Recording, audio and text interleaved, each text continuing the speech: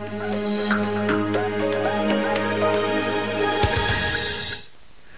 Euro 2012 zbliża się wielkimi krokami. Znamy już e, maskotki, widzimy jak powstają stadiony i wszystko na to wskazuje, że zdążymy.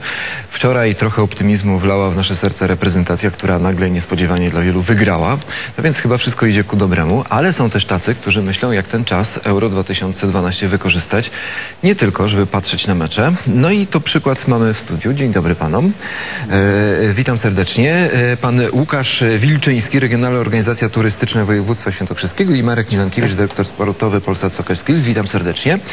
No właśnie, jak można wykorzystać e, czas Euro 2012 nie tylko na to, by oglądać e, mecze drużyn, które w tych finałach uczestniczą?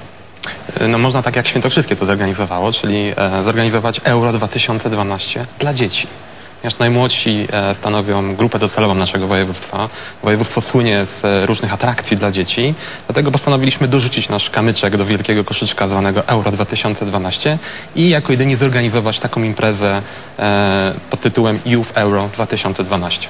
Mówi pan jako jedyni, myśli pan, że nie będzie takich inicjatyw więcej? No bo jest jeszcze trochę czasu, jak teraz się ktoś dowie, że skoro województwo świętokrzyskie może, to dlaczego my nie możemy?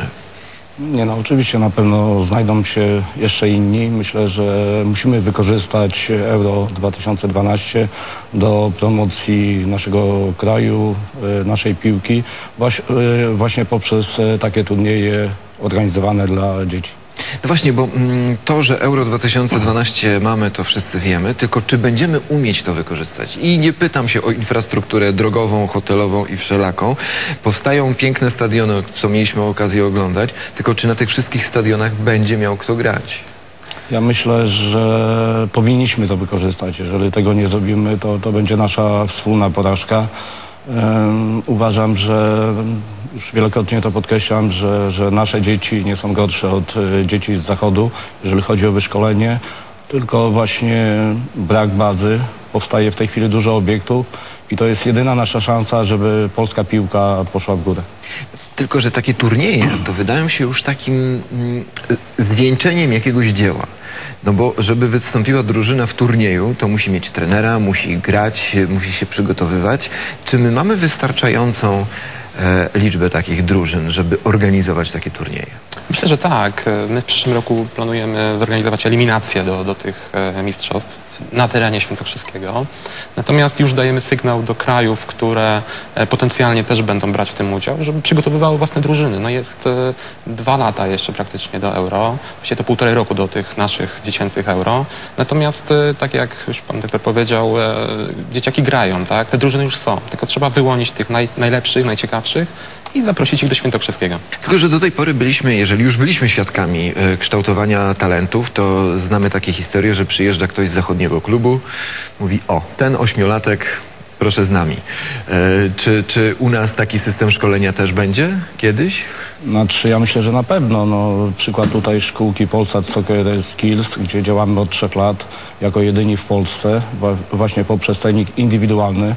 E, Jeżeli będzie to dobrze robione, e, to na pewno te dzieci nie będą chciały wyjeżdżać za granicę, jeżeli będą mieli możliwość szkolenia e, tutaj u nas e, w kraju. Tak staramy się działać i na dzień dzisiejszy przynosi to, to na pewno korzyści. Ostatnio byliśmy właśnie w Holandii, 12 chłopców z obozów letnich najlepszych pojechało w nagrodę, mieliśmy możliwość zwiedzenia stadionu w Holandii, spotkania z Leo Benhakerem, także to trzeba zachęcić tych dzieci, stworzyć im warunki do tego. Nie znam chłopaka w wieku 8-14 lat, który nie gra w piłkę. Jak stwierdzić, że ten człowiek, który nie jest po profesjonalnych treningach, to jest ktoś, na kogo warto postawić? No i tutaj właśnie jest problem, e, bo szkolenie młodzieży to jest jedna rzecz.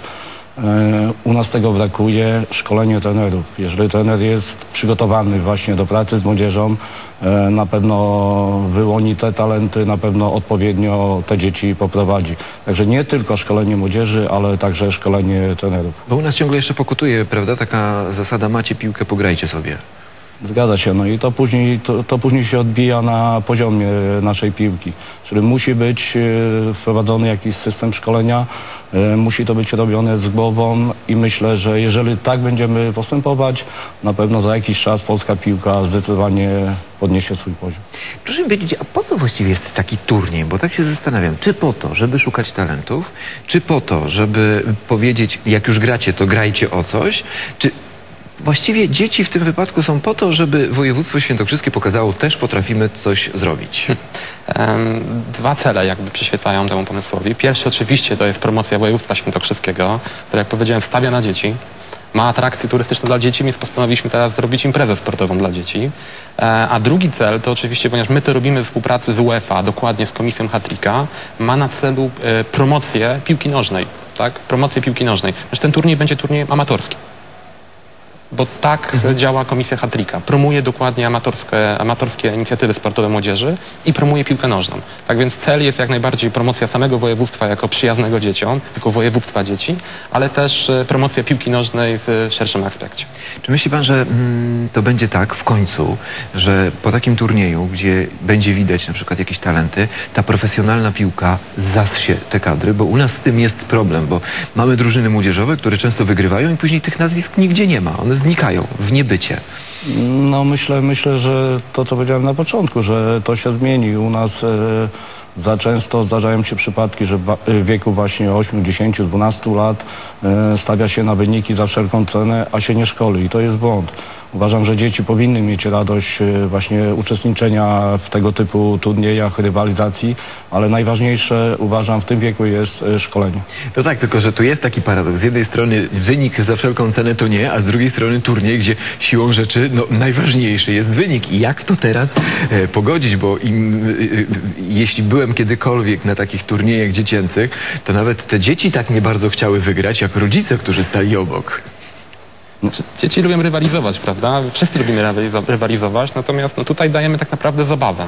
To trzeba potraktować w kategorii zabawy, no bo nie mówimy o jakimś profesjonalnym turnieju, gdzie za wszelką cenę trzeba wygrać. E, najważniejsze jest, żeby dzieci z naszego kraju mogły spotkać swoje, swoich rówieśników z innych krajów i zmierzyć się z nimi w popularnym sporcie. Wiado, wiadomo, że rywalizacja zawsze będzie i dzieci zawsze, czy to na treningu, czy, czy na tego typu turniejach będą chciały wygrać, bo to jest normalne. Ale właśnie kwestia nastawienia ich, y, po to grają, żeby wygrać, ale nie za wszelką cenę. Dziękuję bardzo. E, W takim razie trzymamy kciuki za tę, zarówno e, za ten turniej, jak i za to, byśmy mieli potencjał, żeby było z czego wy, wybierać, żeby później e, drużyna zawodowa też mogła e, wygrywać. Dziękuję bardzo za wizytę w studiu. Skoro o wygranych mowa, e, politycy teraz też bardzo chcą wygrywać finał kampanii samorządowej, to my teraz zobaczmy, jak ona wygląda.